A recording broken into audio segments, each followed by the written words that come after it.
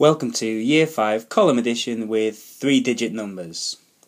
Okay, the number that we're going to add today is 346 plus 297. So let's just think about place value a little bit before we make a start. Think about what these digits are worth. So we've got 3 here, which represents 300. We've got 4 here, which represents 40, and this is 6 as a unit, so that just means 6. We've got 200, we've got 9, which represents 90, and then we've got a 7. Okay, so we're going to set it out in columns now. So we have the biggest number first, 346, and we've got 297 going to put a line underneath there and a plus sign so to remind me what um, what calculation we're doing.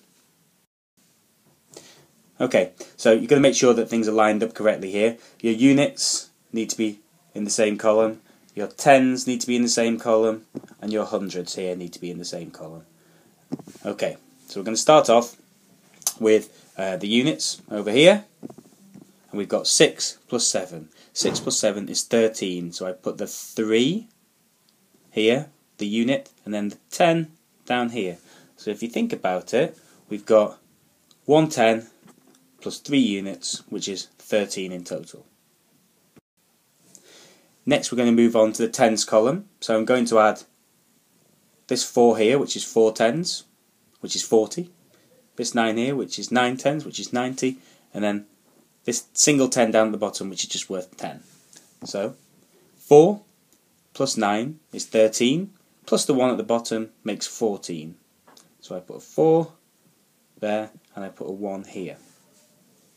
Now, the reason I do that is 40 plus 90 plus 10 equals 140. So I've got 140.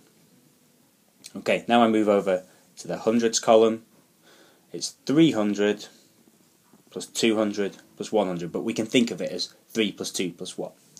3 plus 2 plus 1 equals 6, giving me an answer of 643. So I'll write that up at the top, 643.